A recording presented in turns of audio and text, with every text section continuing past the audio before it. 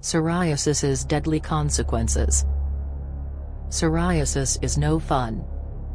Like itchy, flared up, sometimes bleeding skin, unsightly dried scales, red blotches, heavy dandruff and all the other horrible effects of psoriasis weren't enough.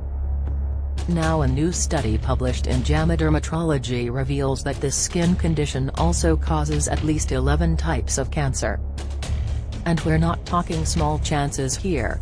With one cancer the increase is 180%, with another 100%. 58 previous studies were used to calculate the increased likelihood that people with psoriasis will also develop some form of cancer. They discovered that people with psoriasis were 18 to 22% more likely to develop cancer. They also found an increased risk for a range of site-specific cancers. 1. 18% higher for colon cancer. 2. 34% higher for colorectal cancer. 3. 58% higher for kidney cancer. 4. 79% higher for laryngeal cancer. 5. 83% higher for liver cancer. 6. 40% higher for lymphoma. 7. 28% higher for non-Hodgkin lymphoma. 8. 71% higher for keratinocyte cancers. 9. 100% higher for esophageal cancer. 10.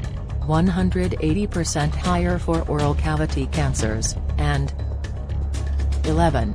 41% higher for pancreatic cancer.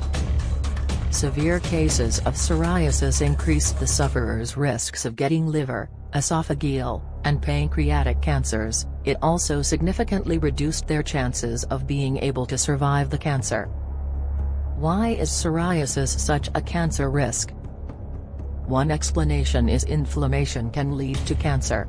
Psoriasis is an inflammatory skin condition. Previous studies also show that other inflammatory conditions, like Crohn's disease, also increase the risk of developing cancer. Another possibility is that some of the treatments used to fight against psoriasis, such as biological treatments and phototherapy, are carcinogenic.